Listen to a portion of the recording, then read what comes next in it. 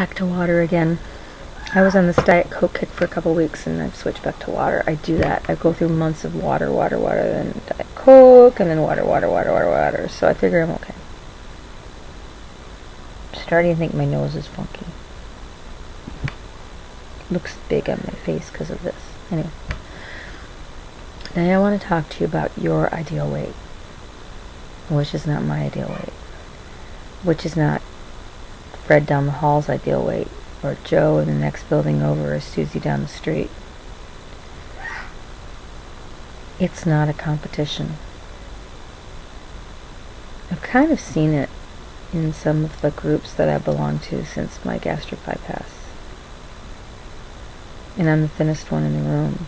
Because what happened with me was one in a billion. I was ready at the time. I don't think a doctor would have thought that I was ready, but I was. And I didn't know I was ready. I was sure I was going to fail. And because of that, I worked extra hard. Now they're finding that pessimists sometimes win in weight loss. I'm not talking about pessimism like I'm never going to lose weight, so I might as well eat five Twinkies. I'm talking pessimism like, I'm like, get on this bike, I'm going to work out, nothing's going to happen. And then something happened. And I had starts and stops. You know, I have a friend, Elizabeth, who had a gastric bypass two, almost two years ago now, and she's at a, at a stall. And she doesn't like it. She's really upset about it. But she's going to break through that stall. She just has to eat less and exercise more because her body's become efficient. And your body should be efficient because muscle burns calories, fat does not. Your lungs should be efficient. Your heart should be efficient.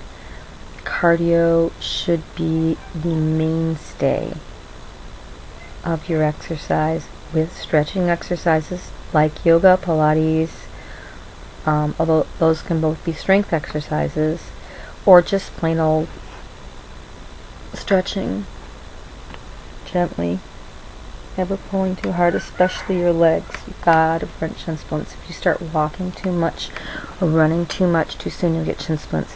By the way, the cure for that is pull your toes. I'm not going to show you because this isn't a, camera.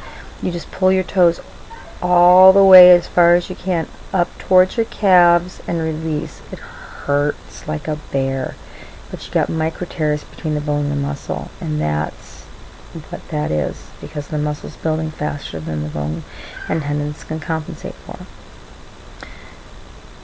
Finding your ideal weight is so many things, it's got to be a series. It's not the BMI index. BMI index is a tool, and we'll talk about that next week.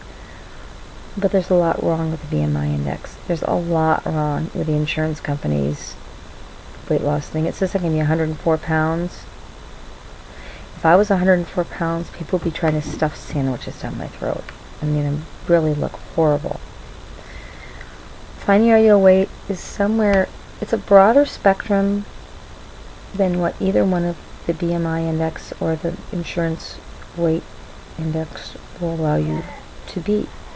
An ideal weight is where you're comfortable, where you're feeling healthy and strong, where you feel you can accomplish the things in your life without too much stress, where you can get on an exercise bike or a Precor or any kind of aerobic activity, even if you only use your upper body, and you can do it for 30 minutes without you've got to be able to talk and I know it's hard. People want to get there fast. And the thing with society is we want to just take a pill and have it all melt away. And there is no pill out there. Um, now a lie Alli will help you lose weight. But if you don't follow your instructions you can have some very uncomfortable days in the restroom. Just saying it is not a magic pill. It is a tool. Gastric bypass is a tool. Diet is a tool. And a limiting diet, I read a study recently, you're supposed to eat the same thing for lunch every day. I, I would die. I stay within a calorie range and I include fruit, vegetables, and some sort of protein. And yeah, some days it's a protein bar. Five meals a day you know, breakfast is light, snack light, lunch light. The other snack is light, and then I get to dinner time, and I'm had it with fighting it, and I want chocolate. I'm very proud of myself. My husband's at the store right now. He has to get me fruit. Good girl. One of the ways we're changing our diet in our household, because this isn't just you, how you eat, especially for eating separately from the family and different foods, is is going to send the wrong picture to girls especially. Um, so what we've decided to do is once a week we're going to get together as a family, a family activity.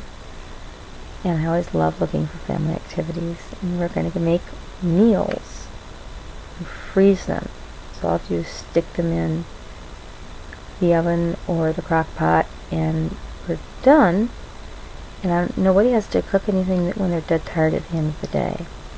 So we have sticks set up, low fat dips out because my kids love dips. Um, Stephen likes hummus, Jean likes ranch. Um, I make my own hummus from chickpeas that I reconstitute myself because I like whole grains. In the summer, more expensive to go to the farmer's market, but I like supporting local independent farmers. To me, that is super important. Dying to go to Pennsylvania for Reading Terminal. I don't know what I'm going to do because I can't take all that stuff back to my to Ann Arbor. Um, hot dogs are out. Yogurt's in. We're switching to skim milk. I'm taking them down to 2% first. And at some point I'll get skim and start adding it. Because I use skim milk um, in my in my oatmeal, which I eat almost every day. I just like it. I don't like it fancy. I just like a little bit of brown sugar. And I mean a little bit.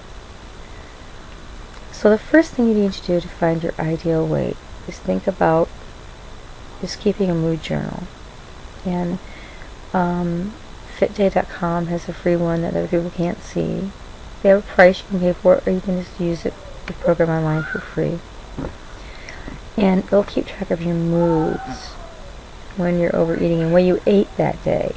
So you can start associating. I had a wheat sandwich, sandwich with wheat for lunch. I felt like crap in the afternoon and I needed an energy snack later. Maybe I should think about cutting out wheat because wheat, eggs, and dairy are the three most, and soy, four most common things to be allergic to. Um, the ideal weight is how you feel. If you're 190 pounds, and you're five foot two and you have low blood pressure and you think you look really cute in size 16 clothes and people around you tell you how adorable you are here's your ideal weight accept yourself. Watch your heart and stuff but that's not ridiculous. It's not. I felt very good at 190 pounds um, the rest of the weight kind of came off. I did watch my calories a bit, but I wasn't anal about it. One of my friends thought I was, but I really cheated a lot. Um, but when I'm training for triathlon, I need buttloads of calories, and that's the other thing about ideal body weight. Is people sign up for a marathon or decide that they want to do a triathlon and they think the training is going to help them lose weight. But in that case, you're burning so many calories that your body is saying, you know, feed me Seymour, feed me all night long. And then your whole wheat carbohydrates are really good for you. Plain carbohydrates they've got to be chucked. Know everyone loves white squishy bread. We all taught Wonder Bread growing up was the best. We all believed it was squishy and soft and you can make it into a ball. And it's just not healthy for you. Again, that's going to be another topic in a Fitness Friday. So we're going to be doing less me showing you fitness things, although that's going to be in there. We're going to do an abs workout next week too. Um, because I think it's really important to do a good abs workout and find where your abs are and explain the muscular structure down there. Um, and abs can be done in 10 minutes a day. And you don't need a machine to do it. Think about where you are, where you want to be realistically, Again, five pound goals. Five pounds here, five there. And let me know what you think. Let me know what you want to talk about on this part of the